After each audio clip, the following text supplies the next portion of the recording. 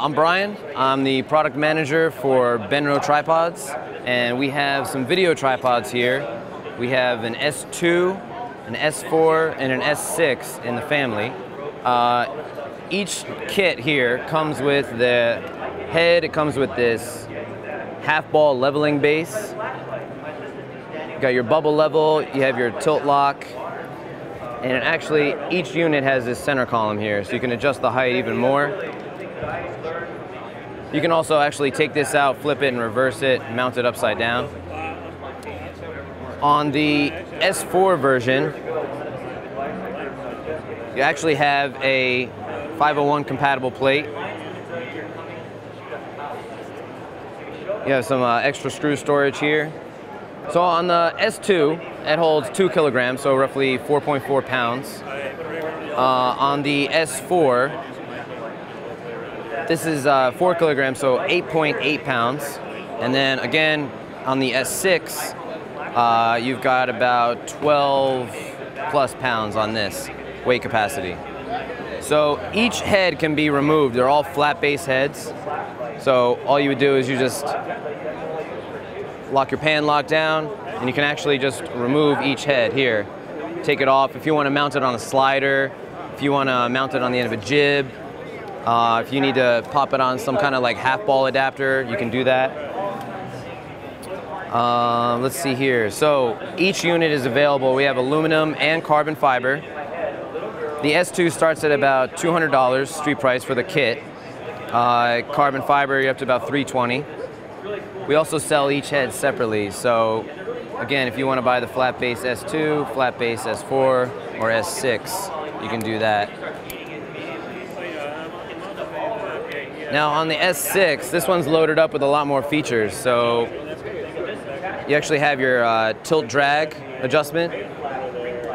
Uh, on the flip side, you have your counterbalance. Three steps, including zero, so you can just shut it off. And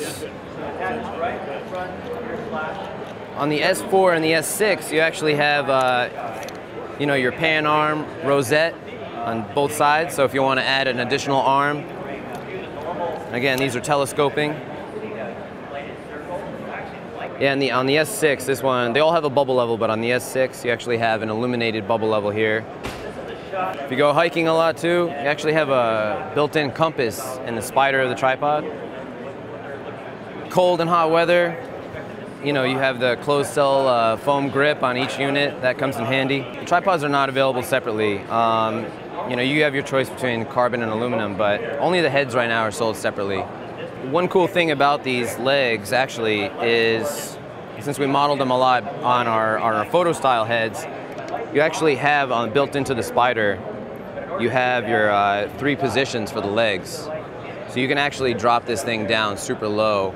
Um, you know, and like we said, if you need to get ultra low to the ground, you can actually take the center column out and flip it, mount your camera upside down and flip the shot in post. Um, but yeah, you just pull this lock out here. You know, you do that with all three legs. Second position, and then third position. So, and they travel well. I mean, you know, considering